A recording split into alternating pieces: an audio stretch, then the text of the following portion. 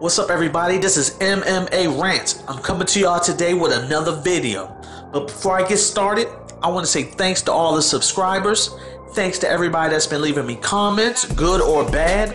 Thanks to everybody that's been sharing my videos as well, because without y'all sharing them, they wouldn't be being seen by others. And also, everybody that's been leaving me thumbs up.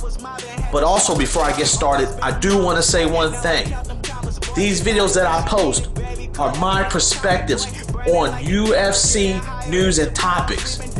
Basically, when I hear some news from the UFC or the MMA world, I take that information, I form it into how I see it and how I perceive it to be, and then I come on here and post it. I post the news and information to y'all. Nine times out of ten, I'll post a link of what I looked at, and I'll get on here and fucking rant about it. And guess what? I respect everybody's comments, good or bad. But guess what? I want the same respect back in return. So now on with the video.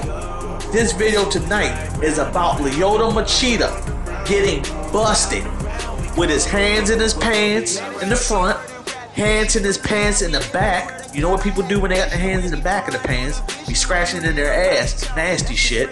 He got caught with his dick in his hand. He got caught peeping up somebody's dress. He got caught by surprise, y'all, basically, by USADA for a banned substance that his ass knew he was fucking taking because when they came and drug drug tested his ass, when they left, guess what Lyoto Machida did? He basically hit them up, he hit USADA up and let them know, hey guys, I know y'all came and tested me, but I've been taking some shit that I shouldn't have been taking. So he confessed to them about what he was taking. Okay? And guess what? Since he declared that he was taking a controlled banned substance, it's a done wrap. The UFC um, made it known. They posted that his fight with Dan Henderson is canceled. I feel very bad for Dan Henderson. I heard he's already in town where the fight's supposed to be at. He's going to lose out on some money. Lyoto Machida, I really don't give a shit about as far as feeling bad for him. Because guess what? In a way, I can't hate on him. I got mad, mad love, mad respect for Lyoto Machida because he's been doing some great things. But I'm gonna break down his situation to y'all, okay? When you're on top of the mountain for so many years, you are so dominant in the UFC. Your style of fighting was so hard for people to figure out, and you had a lot of great highlight reels in a good way.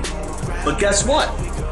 Every old, every new dog, I should say, gets old, and whatever goes up must come down. And with a lot of those good highlight reels, as of lately, you've had a lot of bad highlight reels. And I know when you get a taste of that punani, and I'm just saying this as an example, when you're getting a taste of some some pussy or some punani, excuse my language on here. I hope ain't no kids listening. Okay, I'm just being real. Guess what? It's hard to stay away from it. You know, that's that's success we're talking about, y'all. When you've had success for so long and then you lose it, it's hard to not live. It's hard to live without it. You're gonna you're gonna try to figure out how to get back to that success. You know what I mean? And Lyoto Machida was like, "Hey, I've been getting my ass whipped lately. I've been not looking so good, and now I'm on a Fox prelim card fighting old ass Dan Henderson. And I know that's what the fuck he was thinking. Ain't nobody gonna tell me different. Okay? Because if he wasn't thinking that way, to where he had to take a banned substance to beat uh, uh, Dan Henderson, I don't think he was taking it because he felt like he was going to lose to him. I think he was taking this banned substance so he can beat him in spectacular fashion, so he can be talked about again, so he can become very relevant again. That's where I feel like why he was taking this, you know?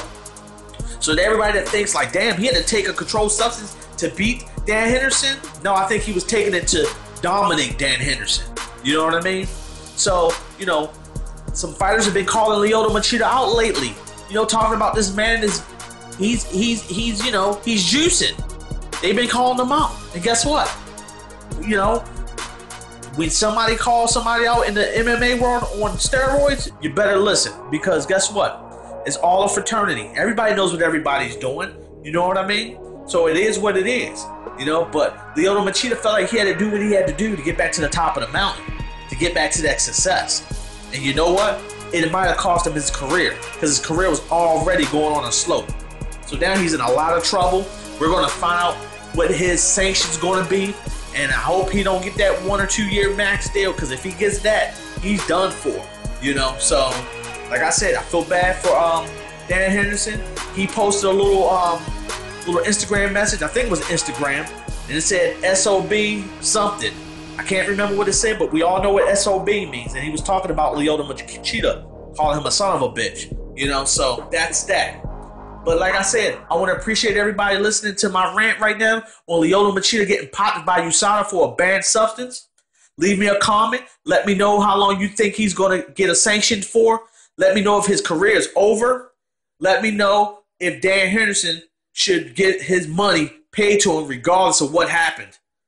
Hit me up in the comments. Leave a thumbs up. Subscribe if you're listening right now.